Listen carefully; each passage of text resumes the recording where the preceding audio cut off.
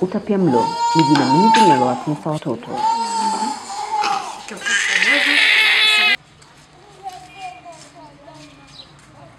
Cecilia, mama mwenye watoto wanne kwa sasa, baada ya mmoja kufariki, huishi mjini kwa kuuza karanga.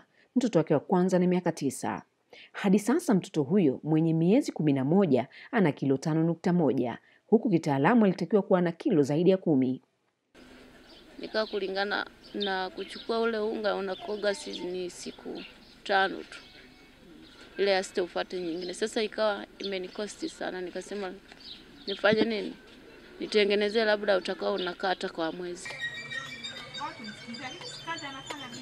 Cecilia anabainisha kuwa mtoto wake sehemu kubwa ya chakula anachompa ni uji tu. Hana uelewa juu ya dalili ya utapia mlo wala umuhimu wa lishe. Inashauriwa kuwa mtoto anatakiwa kula chakula chenye lishe bora zaidi ya mara tatu kwa siku. Mahitaji kama yangekuwa yanakamilika, haya yote yangekuwa yanapatikana, kwa hiyo na kumbukumbu ingekuwemo kichwani. Nathanael Kagoma ni mhudumu wa afya vijijini kata ya Katoro, Ludete na Kasene.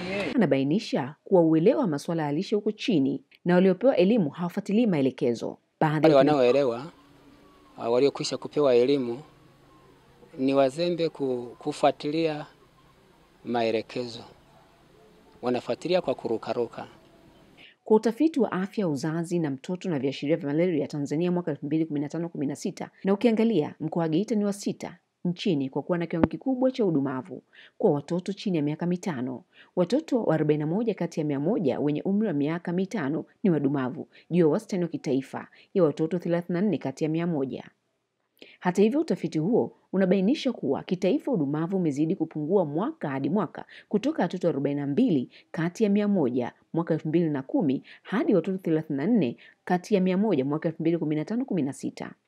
Mbali na udumavu, yaani watoto wenye urefu usioendana na umri wao kutokana na lishe, Geita pia ina kiwango kikubwa cha ukondefu cha asilimia 16 sawa na watoto 16 kati ya 100 wenye umri wa chini ya miaka mitano, juu kidogo ya wastani wa kitaifa ya watoto 14 kati ya 100.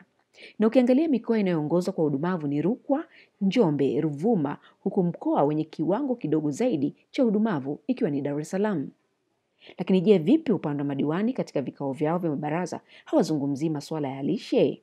Nafikiri alijaweza kuongelewa sana hilo, kama limo limo kwenye makabrasha tu, lakini halifanyiwi kazi. Hospitali teule ya mkoa wa Geita inatoa huduma hasa kwa watoto wenye utapiamlo mkali. Nakutana na Yohana Siantemi akionekana kama mtu mwenye mawazo hivi. Yeye ni mwanaume pekee kwenye odi hii. lakini tena hali ilijirudia. Ilipojirudia wakatuambia tumpeleke Katoro. Tumempeleka Katoro, tumekaa hapo siku moja, ya pili tukaambiwa tuje Geita. Neema House ni kituo ambacho katika majukumu yake wanatoa elimu juu ya masuala ya lishe, kitengo alichokianzisha mwaka 2016. Idadi ya watoto wenye udumavu wanaohudumiwa katika kituo cha Neema House imezidi kuongezeka mwaka hadi mwaka. Ndani ya miaka miwili tu tangu kuanzishwa kwake, idadi ya watoto wanaohudumiwa imeongezeka mara kumi na sita kutoka watoto kumi na mbili mwaka elfu mbili na kumi na sita hadi watoto mia moja tisini na mbili mwaka elfu mbili na kumi na nane. na toka mwaka 2016 Neema House ilianza program ya Maisha Matters. Hii ni, ni outreach program ambayo hii ni maksus kwa ajili ya kusaidia watoto wenye utapiamlo mkali Kwa mwezi Mei na Juni mwaka 2019, kati ya watoto ishirini waliolazwa hapa, wanne walipoteza maisha. Uh, mtoto mwenye utapiamlo kwa sababu moyo umetengenezwa na misuli ambayo yenyewe pia inatengenezwa kwa protini. Kwa ile misuli kwa sababu inatengenezwa kwa protini, mtoto akipungukiwa protini, misuli ya moyo inasinyaa na ufanyaji kazi wa moyo unapungua. Kuna maana hata usukumaji wa damu unakuwa mdogo, unapungua. Kwa hata kwenye moyo pia anaathirika. Kuna watoa huduma ngazi ya jamii 312 katika halmashauri ya wilaya Geita, ambapo kwa mwaka 2019-20 wametenga bajeti ya milioni 30. kwamba kwa sababu ile bajeti inatoka mapato ya ndani, kwa hiyo tumeshajipangia mpango kazi wetu wa mwaka unaokuja, na tumemkabidhi mkurugenzi na tumekubaliana kwamba mwaka utakapoanza basi hizo pesa ziweze kuwa zinatengwa, kwa sababu hazitolewi kwa mara moja, zinatolewa kwa awamu.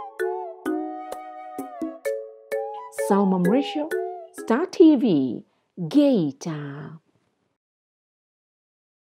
Bofya kitufe cha subscribe kisha gusa alama ya kengele kupata taarifa za Star TV muda wote wakati wowote.